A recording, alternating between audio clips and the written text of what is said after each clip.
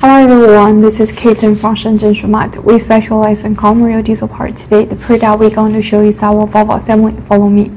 And this is the packing. This valve assembly. And this part number F00VC0134110 series is China menu. Warranty time 6 months. And this engraved number on the valve cap this is coating figures. This is the valve road. And if you want to clean this assembly, it's better to clean it with oil, don't clean it with the water.